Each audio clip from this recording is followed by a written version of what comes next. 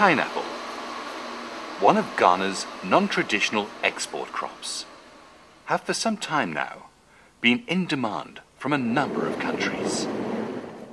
To sustain this achievement and do even better, it's important to adhere strictly to the standards set for this competitive market by the European Union's EurepGAP, now with Global Gap and with Fair Trade. This video is the first of four that's aimed at showing recommended agricultural practices to be followed in pineapple production. Pineapples are best produced in the Greater Accra, Eastern and Central regions of Ghana. They require relatively cool nights, with day temperature ranging between 21 and 29 degrees Celsius. An evenly distributed rainfall level of about 600 millimeters is ideal for good growth. Site selection. It's recommended that pineapple farms are sited close to an accessible road. This allows for easy transportation of farm inputs, as well as pineapple fruits from the farm to the market centres. Pineapple farms should be sited near a permanent source of water.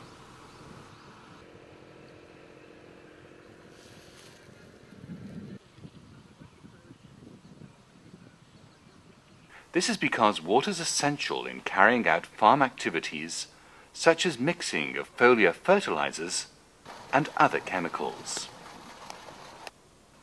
Summary points for site selection. It must be close to a major road, close to a permanent water source, with well-drained, loamy soils. Land preparation. To establish a new farm, slash, burn, and manually stump the field. Manual stumping preserves the rich topsoil for the plant's use. Plough the field two times across the slope and harrow two times. Good land preparation encourages good root development and helps reduce weed problems. Farms need to be sited on well-drained, loamy soils that are free from waterlogging. Plant on flat land to relatively gentle slopes. Should planting on slopes become unavoidable because of differences in topography on large farms, create appropriate drainage channels that will let out excess and stagnant water from the field.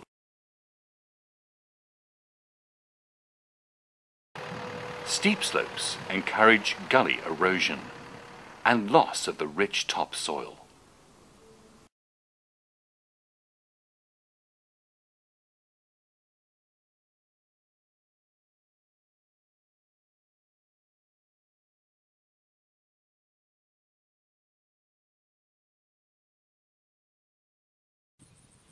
This.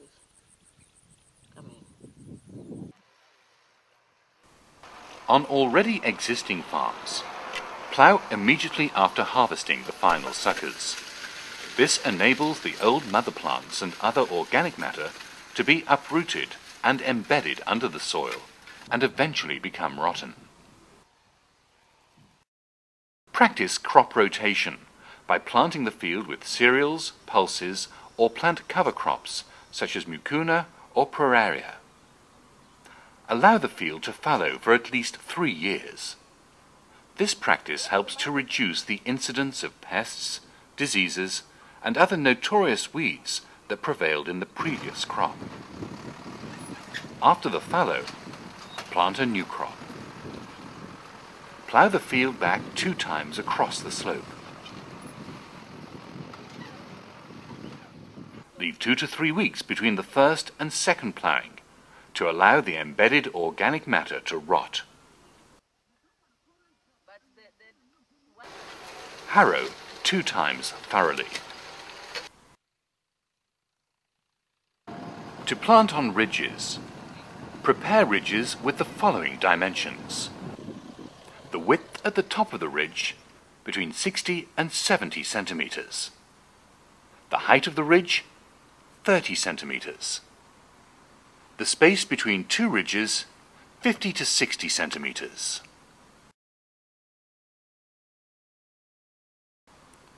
When there's too wide spacing between ridges, it encourages weed problems. Ensure that the surface of the ridges are leveled to avoid water collecting at depressions created on the ridges. Such stagnant water creates dampness around the crops, predisposing them to fungal diseases like Phytophthora.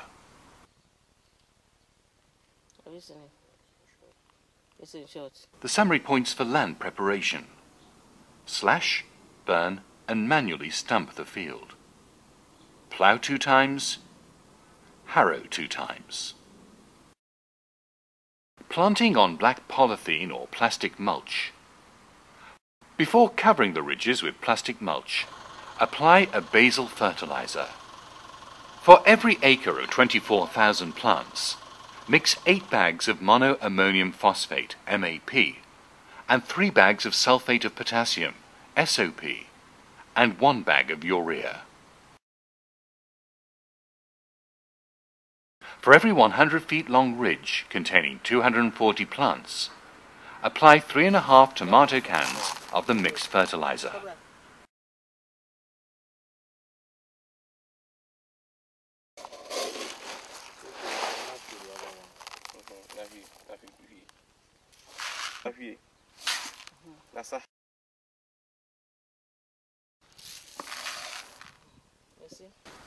Spread evenly over the ridge.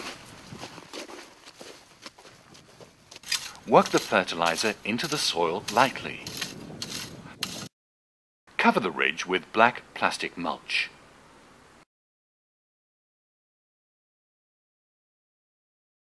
Ensure that the plastic mulch is in firm contact with the ridge. Bury firmly at the sides with soil. Ensure that there are no air pockets underneath the mulch. The plastic or polythene sheets used as mulch help to conserve moisture and also help to control weeds. Planting materials, selection and treatment. Select planting materials from only healthy, well maintained, and disease free mother plants.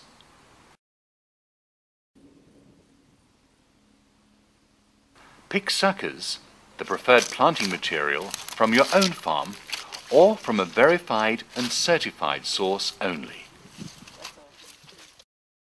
Control harvest suckers by turning the butt end up on the mother plant to expose them to the sun for at least two sunny days. Yeah. Tree. Grading suckers. Select and grade suckers according to weight and size. That is, large, medium, and small.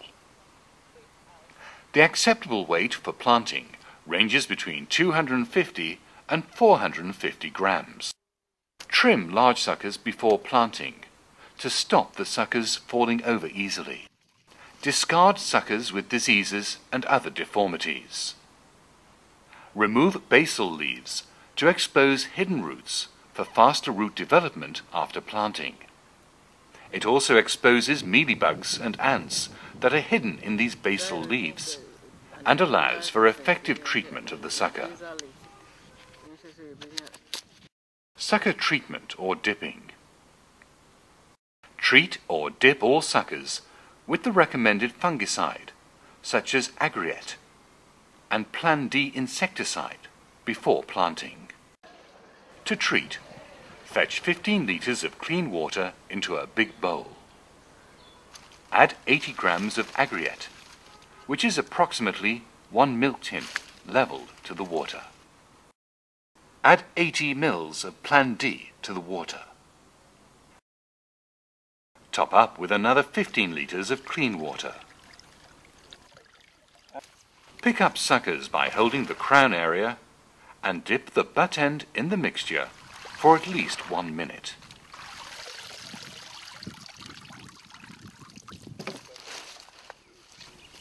Air dry the treated suckers in an upright position for at least two hours. This helps the moisture to penetrate better. Plant within 24 hours. Good sucker selection and grading ensures a fair uniformity in plant performance and yield. Planting.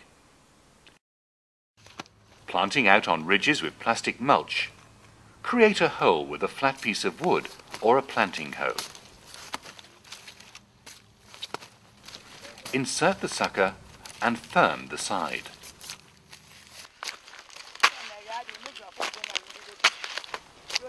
The space between two pineapple rows on the ridge is 30 centimeters. The space between two plants in a row is 25 centimeters. And the space from the pineapple to the edge of the ridge is 15 centimeters.